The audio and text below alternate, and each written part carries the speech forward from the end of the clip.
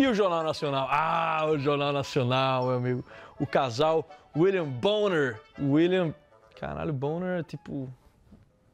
Né? William Bonner. William é o, o maluco, o sobrenome do cara era pau duro, né? e Fatinha Bernardes. Eles davam aquela liga da família brasileira, né? Era o nosso equivalente a uma família real. Bonner, porra, sempre educado. O nosso George Clooney, Fatinha sempre elegante e com quanto corporativa, bastante modesta. Eu só não gostava daquele cabelo curto dela, parecia um, um, um frasco de perfume. Quando era pequeno eu não gostava de mulher de cabelo curto, não. Tipo, eu vi uma mulher de cabelo curto, eu sentia um cheiro de peido, assim, aquele peido meio adocicado, um cheiro de melão de feira, meio em decomposição com enxofre, tá ligado?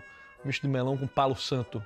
E aí, no domingo, era o dia da grande competição de audiência, a banheira do Gugu versus as gatinhas do Faustão. Eu amava mesmo, era as vídeos cacetadas do Faustão, né? A única coisa que meu pai deixava eu assistir ali. Eu não dava muita bola para a banheira do Gugu, até que a minha adolescência chegou e eu comecei a perceber o tal do outro do outro de Simone de Beauvoir nas formas de Maria Alexandre e Helen Gazzaroli, depois da tarde debochada da família brasileira, em que o jovem sumia para achar algum lugar com o SBT e de repente encontrava o avô dele fazendo a mesma coisa.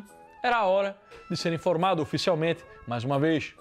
Era a hora do fantástico. Cid Moreira, meu amigo. Cid Moreira tinha uma credibilidade tão grande que ele virou a voz de Deus, né, meu amigo? Com seu CDzinho ali da, da Bíblia. E não era só isso, né? A Globo tinha alcance internacional, né? Rock Santeiro era sucesso em Cuba, meu amigo.